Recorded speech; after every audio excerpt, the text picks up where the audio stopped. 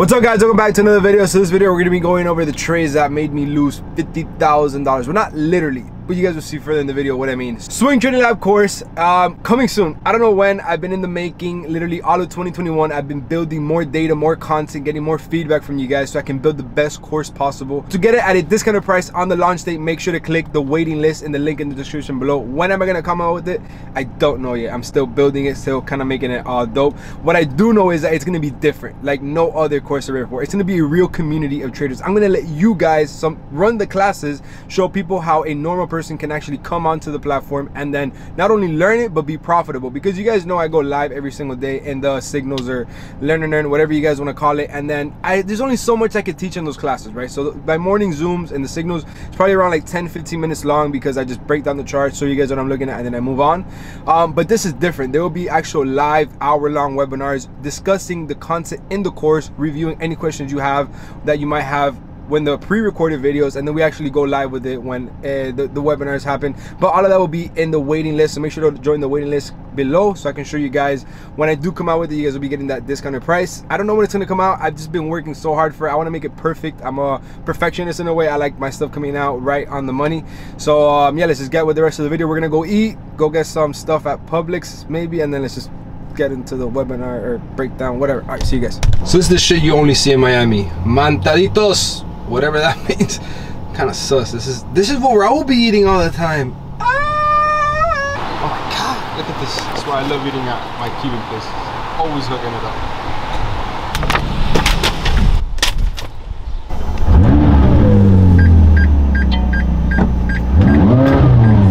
Stock. Fuck. So that? Oh shit, I was still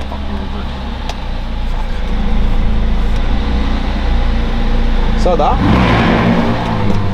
my god, it's fucking cold.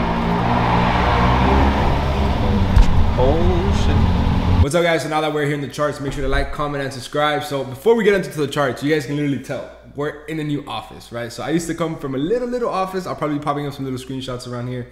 Now I've upgraded, you know, I've been working very, very hard throughout not only 21, but since 2018 to, you know, to level up.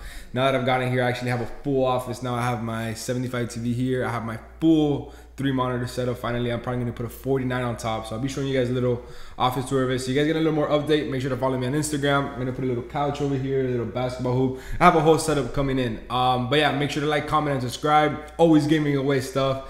Uh, I might give away my old monitor. Not wait, let me see. Not the back. Yeah, the back is pretty expensive. But the monitors. This is my old monitors. Uh, my previous 27. I think it's 240 something like that. I don't know. So in this video, I'm going to be showing you guys how I lost 50,000 or probably even more. Not actually lose. I didn't lose the money, but I missed all of these trades, right? Because I was in the whole moving process. But I'm going to be showing you guys how simple these trades are. I've literally called these trades every single day on my Instagram story. For those of you guys that are in my signals or the learner, you guys literally saw me call this live every single day, but my schedule was all messed up because I was moving. But I'm going to be showing you guys the simplicity of these moves and how you guys could catch them and how I will not miss them again, even if I'm doing anything. I could be out of space. I'm gonna be plugging in these trades. So let's start off with USD JPY, right? So obviously the move has already happened. So I'm gonna kind of be showing you guys where I'm gonna get in. I'm not gonna be doing the whole bar replay because I feel like that it kind of looks almost like fake because it's like, oh, you predicted the move because you already saw it. No, I'm gonna be showing you guys after it already happened and showing you guys what I was looking at it before it did to show you guys how simple it is and how it played out, right?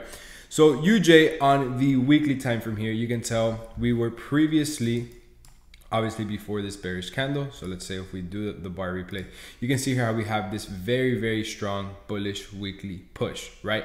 But what does it for me is we are having this weekly push after breaking round psychological 11400 along with resistance resistance resistance resistance out here right? So each of these are a weekly candlestick. So for right here you have a total of one two three four five six almost eight candlesticks. So this is two months that price was stuck at this level. You look left same exact thing. One two three four five so about a month and a week. And then freaking alarm. And then it goes you see here another three almost another couple months here rejecting from round psychological level right? So after having that push to the upside, I'm like, bro, you go down to the daily time frame and you literally see we never came back and retested it. Obviously, we're doing it now, but previously we had never done it. We had broken above it and we just continue pushing high. I'm like, all right, that's that's nice, that's all cool, but it's gonna have a retracement. Just the probabilities of it coming back to retest this area are very, very high. Notice these retracements. This is just a magnet price has to have this retracement. Doesn't have to, but the probabilities of having it are much higher than not. And it's just very simple. We are creating bullish structure. We're creating highs and lows, highs and lows. It is almost beautiful having this higher low to this level here. Obviously, you guys can already expect what we're waiting for next, which is very, very simple. We have a beautiful daily rejection for 114, rejection from 8 daily EMA, but all of this, I do it in the learn and for current price. But I'm gonna show you guys what I was looking for before, right? So after we had this beautiful daily evening star formation, rejection from a high, also if you wanna say around psychological, around psychological level of 1600 you could but it wasn't right on the money. But then this is where i go down to the four hour and you can literally see the shift. Just look at the shift in the four hour. You notice out here how the four hour is creating high then we have a lower low lower high lower low lower high. At this point right here i'm still not interested in taking shorts just due to the fact that we are quote unquote creating a double bottom if you want to look at it at the wicks or if you go down to the lower time frames it does look like it's creating a double bottom rejection the ema and it could continue pushing higher. It could continue having a next high. I personally was waiting for a break under this level here eh, very much how we did. So i was waiting for a break under this body structure to then come and create another lower high and then now we're rejecting previous structure and now we're having a four hour market shift. So this is where i went down to the lower time frames either the two hour or the one hour and then just does not get any more beautiful than this. So as you as you can see we waited for it to break this level right here after breaking this market structure right here we wait for the retracement to then create the lower high to reject this level so this is where I go down to the one hour and then you literally notice how on the lower time frames, what I repeat day in and day out in the signals, the learner where I go live every day, you see the shift creating high double bottom. Then we have a lower low.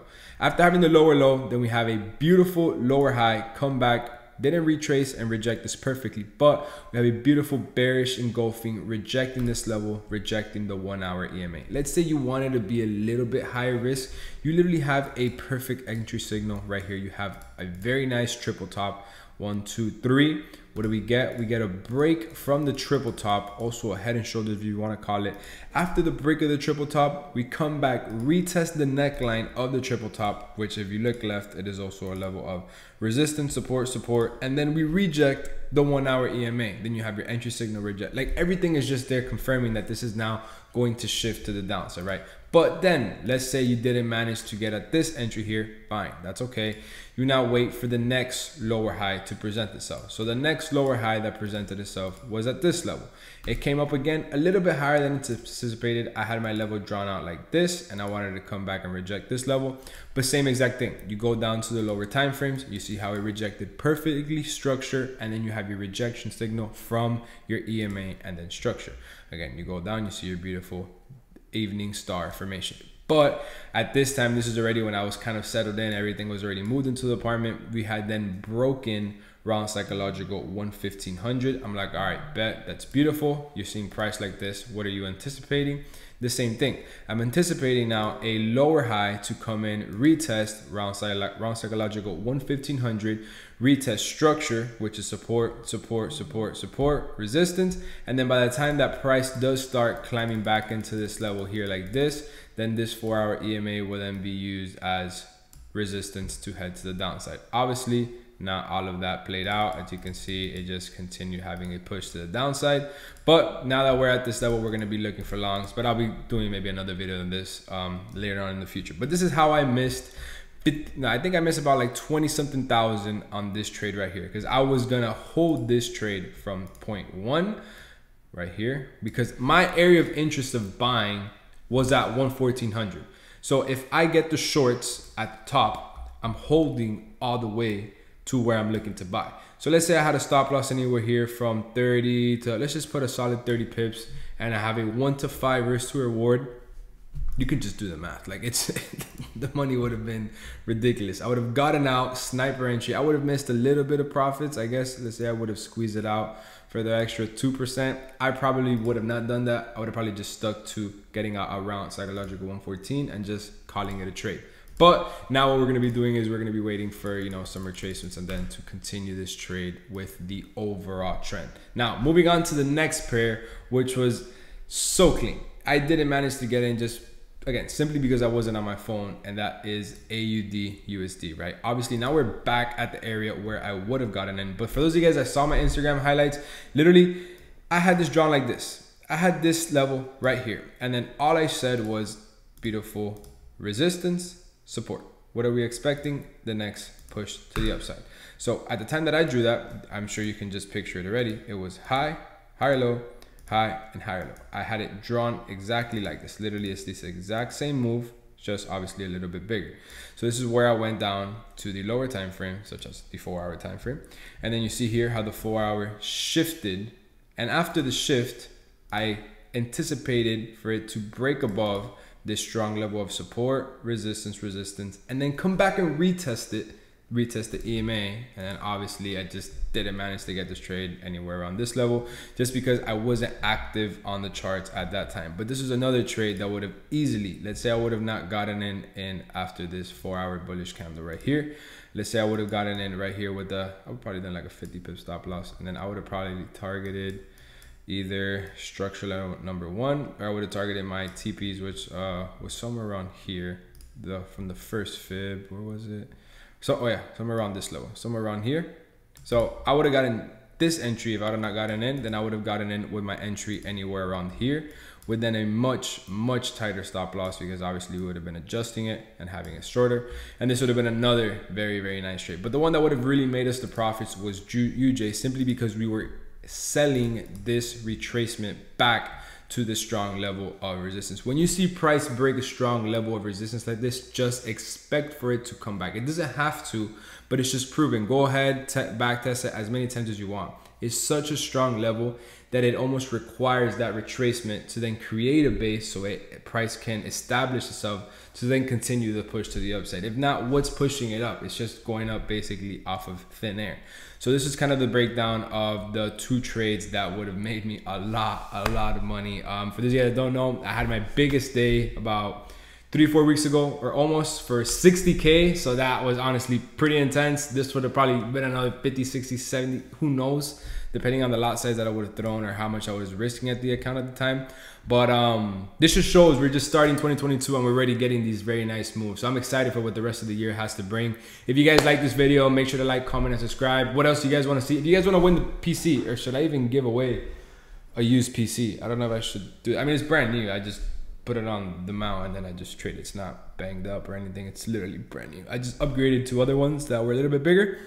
Um, so if you guys want any of that, just let me know in the comments below. Um, and yeah, I'll be seeing you guys in the next video. Thank you guys for watching and I'll see you guys later.